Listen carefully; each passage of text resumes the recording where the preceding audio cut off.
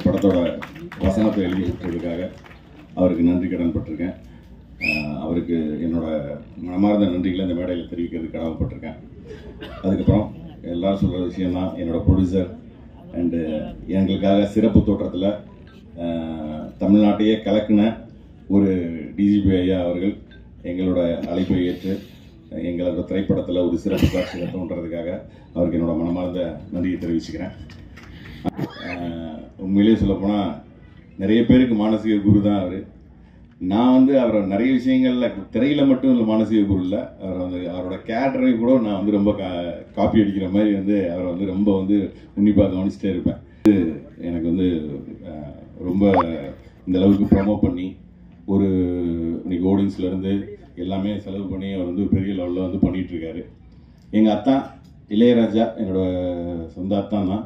அவர் படத்தை வந்து அவரும் கார்த்திகேயன் முஷான் ஆஹ், முத்துக்குமரன் ப்ரொடியூஸ் பண்ணியிருக்காங்க. அவங்களுக்கு என்னோட மிகப்பெரிய நன்றியை தெரிவிச்சுக்கிறேன். மற்றும் எல்லாருக்கும் வந்து என்னோடய வாழ்த்துக்களையும் அன்பையும் தெரிவிச்சுக்கிறேன். இந்த திரைப்படத்தை பற்றி சொல்லணும் அப்படின்னா வந்து உங்களுக்கு தெரிஞ்சிருக்கும். மக்கள் செல்வன் வந்து ஒரு வசனம் எழுதுறாருன்னா ஒரு சமூக கருத்து இல்லாத ஒரு படத்துக்கு வந்து கண்டிப்பாக வந்து எழுதியிருக்க மாட்டார். இந்த படமும் அந்த மாதிரியான ஒரு விஷயம் தான் நான் கேள்விப்பட்ட நான் நடந்த விஷயங்களில் இருக்க ட்ரூ இவெண்ட்ஸை பேஸ் பண்ணி அதை வந்து நான் ஜாங்கிட்டாய கூட நான் கன்சல்ட் பண்ணிவிட்டு அந்த மாதிரியான விஷயங்களுக்கு ஒரு அவேர்னஸாக இந்த திரைப்படம் அமையணும் அப்படிங்கிறதுக்காக தான் வந்து இந்த குலசாமி திரைப்படத்தை வந்து எடுத்திருக்கேன். சினிமாங்கிறது கத்தி மாதிரின்னு சொல்லுவாங்க. ஆப்ரேஷனும் பண்ணலாம் கொலையும் பண்ணலாம். நம்ம வந்து அதை ஆப்ரேஷனுக்காக யூஸ் பண்ணுவோம் அப்படிங்கிற ஒரு விஷயத்தில் வந்து கண்டிப்பாக வந்து நான் கவனமாக இருப்பேன். ஸோ வந்து அது கண்டிப்பாக சமூகத்தில் நடக்கிற ஒரு கரைபடிந்த விஷயங்களை அகற்றுறதுக்கு உண்டான சாதனமாக தான் சினிமாவை நானும் பார்க்குறேன். ஸோ அந்த மாதிரியான விஷயங்களை தான் கோசாமிலையும் வந்து சொல்லியிருக்கிறேன். அடுத்த படத்தோட ப்ரொடியூசர் குருசாமி சாரையும் வந்து வரவேற்கிறேன். நன்றி. இது இந்த நேரத்தில் வந்து இங்கே வந்திருக்கக்கூடிய அத்தனை பெரியவங்களுக்கும் என்னுடைய நெஞ்சார்ந்த வணக்கத்தை நான் தெரிவிச்சுக்கிறேன். அதே மாதிரி பத்திரிகை நண்பர்கள் எல்லோரும் முதல் படம். அதாவது இந்த படத்துடைய ப்ரொடியூசர் வந்து என்னுடைய அன்பு நண்பர் இளையராஜா அவர்கள். நாங்கள் எல்லாம் ஒரே ஊர் பக்கத்து ஊர். அப்போ நான் வந்து இப்போ என்னென்னா நான் சினிமாவில் பாடுறது எனக்கு வந்து வாய்ப்புகள் வந்து எனக்கு நிறையா கிடச்சிட்டு இருக்கு நான் பாடிட்டுருக்கேன் நான் கிராமத்துலேருந்து வந்ததுனால கிராமிய பாடல்களை வந்து நம்ம நம்மளால் முடிஞ்ச அளவு நம்ம ஏன்னா கேட்டு வளர்ந்த ஆளுங்கிறதுனால எங்கள் அம்மா வந்து கும்மி பாட்டெல்லாம் பாடுவாங்க. பண்ணிகிட்டு இருக்கும்போது இது வந்து நான் ஒரு ஒரு நான் எனக்கு தோன்ற விஷயத்த நான் வந்து ஒரு சேனல் மாதிரி ஆரம்பித்து நான் பண்ணிகிட்ருக்கேன் இது வந்து இவ்வளோ பெரிய களத்தில் வந்து என்னால் இசையமைக்க முடியுமா அப்படிங்கிறத வந்து நான் ஆரம்பத்தில் ரொம்ப நான் மறுத்துட்டேன். உண்மையிலேயே நான் மறுத்துட்டேன். அப்புறம் நண்பர் வந்து சொன்னார் இல்லை நண்பா நீங்கள் பண்ணியாகணும் அப்படின்னு சொல்லி சொன்னார். நான் ரொம்ப பயந்து பயந்து நான் பண்ணேன். ஏன்னா இவ்வளோ பெரிய ஜாம்பவான்கள் இருக்கக்கூடிய இந்த திரைத்துறையில் வந்து எனக்கு வந்து இசையமைக்கக்கூடிய ஒரு வாய்ப்பை கொடுத்த என்னுடைய அன்பு நண்பர் இளையராஜா அவர்களுக்கு இந்த நேரத்தில் என்னுடைய நெஞ்சார்ந்த நன்றியை நான் தெரிவிச்சுக்கிறேன். ஆஹ் வந்திருக்கிற கெஸ்ட் பத்திரிகை மீடியா நண்பர்கள் எல்லாருக்கும். ஆஹ் படவா படம் அந்த திரைப்படத்தில் தான் தம்பி விமலோட சேர்ந்து நடிக்கக்கூடிய வாய்ப்பு கிடைச்சிது. அப்போ தான் சரவண சக்தி சாருடைய நட்பும் கிடைச்சிது. எங்கே இருக்கீங்க சார் இயக்குனர் அப்பவே சொல்லிட்டு இருந்தீங்க குலசாமி பற்றி ஸோ இந்த மாதிரி ஒரு நிகழ்வில் உங்களை சந்திக்கிறதுல ரொம்ப ரொம்ப ரொம்ப சந்தோஷம். மொத்த டீமுக்கும் என்னுடைய வாழ்த்துக்கள் டெக்னீஷியன்ஸ் எல்லாருக்கும்.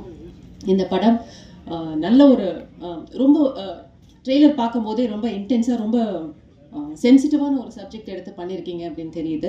ஸோ விமல் இந்த மாதிரி பார்த்ததே கிடையாது. விமல் வந்து ரொம்ப யதார்த்தமாக ரொம்ப கேஷுவலாக ரொம்ப காமெடி பண்ணக்கூடிய ஒரு அஹ், கதாநாயகனை தான் பார்த்துருக்கோம். இந்த படத்தில் ரொம்ப உக்ரமாக அந்த பாடலுக்கும் அந்த எக்ஸ்பிரஷன்ஸ்க்கும் ரொம்ப டிஃப்ரெண்ட்டாக இருந்தது. இந்த மாதிரி விமல் பார்த்ததில்ல. ஒரு வித்தியாசமான பரிமாணத்தை காட்டியிருக்கீங்க விமலுக்கு.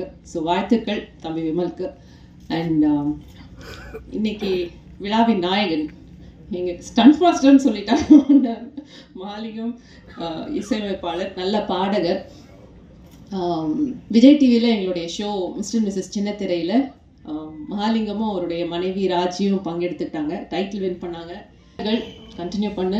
ஏன்னா இந்த மாதிரி ஒரு குரல் வளம் ரொம்ப அருமையான ஒன்று அண்ட் அந்த பாடலை பதிவு பண்ண சொன்னதுக்கு ரொம்ப தேங்க்ஸ் சார் எங்களுடைய வாழ்த்துக்கள். ஆல் தி பெஸ்ட் மீடியாவிலேருந்து படத்தை சப்போர்ட் பண்ணுங்கள் அண்ட் தியேட்டரில் போய் எல்லாரும் பார்த்து இந்த படத்தை என்கரேஜ் பண்ணணும். அதான் கேட்டுக்கிறேன். பெஸ்ட் விஷஸ்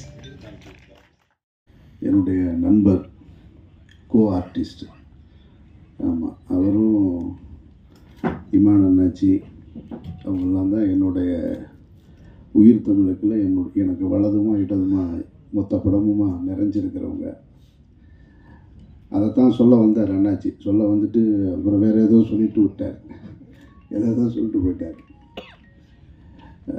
ஒரு இயக்குனர் நடிகராக போகும் பொழுது இருக்கிற சில சங்கடங்கள் இருக்கு இல்லையா? அந்த சங்கடங்களை தீர்த்த ஒரு இடம் வந்து எனக்கு உயிர் தமிழுக்கு படப்பிடிப்பு தான். அதுக்கு முக்கிய காரணம் சரவண சக்தியும் அண்ணாச்சியும் தான். எதையாவது ஒன்று சொல்லி சிரிச்சுக்கிட்டே இருப்போம். சில ஜோக்குகளெல்லாம் இங்கே உங்கள்கிட்ட சொல்லவே முடியாது. அப்படிலாம் நடந்திருக்கு. அண்ணா அண்ணாச்சி கூட இருக்கும் போதெல்லாம் வந்து ஒரு ஹியூமராகவே ஒரு சட்டை சட்டை பாலிட்டிக்ஸ் இருக்கிறதுனால இன்னும் அதிகமாக ஏதாவது நான் ஒரு டைலாக் சொன்னால் மன்னாச்சி இன்னொன்று சொல்கிறது சரவண சக்தி இன்னொன்று சொல்கிறது அது மாதிரி கடின உழைப்பாளி. அதிலெல்லாம் எந்த சந்தேகமும் இல்லை. ஆனால் அவர்களுடைய திரை பயண காலகட்டத்தை இங்கே சொல்லும்போது ஒருத்தர் மாற்றி இவர் சுரேஷ் காமாட்சி ஆலம்பாவெல்லாம் சொல்லும்போது எனக்கு ஏதோ ஓலைச்சுவடி படிச்ச மாதிரியே இருந்துச்சு. ரொம்ப பழைய ஆளுங்க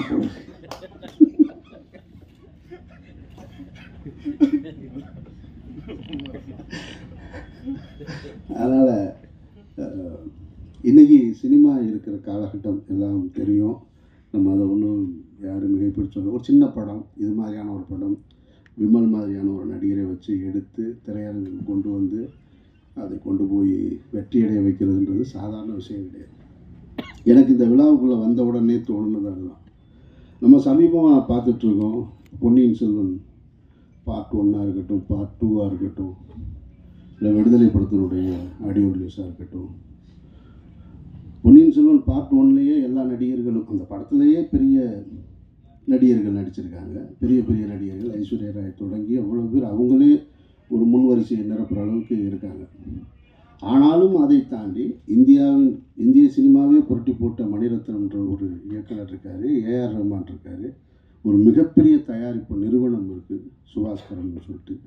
லைக்கா ப்ரொடக்ஷன்ஸ் இருக்குது இவ்வளோ பேர் இருந்தும் அந்த இசை வெளியீட்டு விழாவை அந்த படத்தின் அறிமுக விழாவை கொண்டு போய் மக்கள்கிட்ட சேர்த்தது யாருன்னு பார்த்தீங்கன்னா சூப்பர் ஸ்டார் ரஜினிகாந்த் அவர்கள் பத்மஸ்ரீ கமல்ஹாசன் தான். அந்த ரெண்டு பேர் தான் அந்த மேடையில் கெஸ்ட்டாக வந்து நின்று அவ்வளோ ஆர்டிஸ்ட் இருந்து அந்த படத்தை கொண்டு போய் வெளியே சேர்த்தேன் நாயகி இங்கே இருந்திருக்க வேண்டியது ரொம்ப அவசியமானது. அவங்களுக்கு ஆயிரம் வேலை இருந்திருக்கலாம் ஆயிரம் கமிட்மெண்ட் இருந்திருக்கலாம். ஆனால் இருந்திருக்கலாம். படத்தை ஒரு முதலீடு செஞ்ச தயாரிப்பாளர் இருந்திருக்காரு. அது உயிரை கொடுத்து வேலை செஞ்ச இயக்குனர் இருந்திருக்காரு. சும்மா இல்லை. நான் ஒரு படம் எடுக்கும் பொழுது போடுற காசு இருக்கு இல்லையா? அது ரிட்டர்ன் வரும்போது எப்படி வரும்ன்றது அதை தயாரித்து ரிலீஸ் பண்ணால் தான் புரியும். வருகிறேன் நன்றி.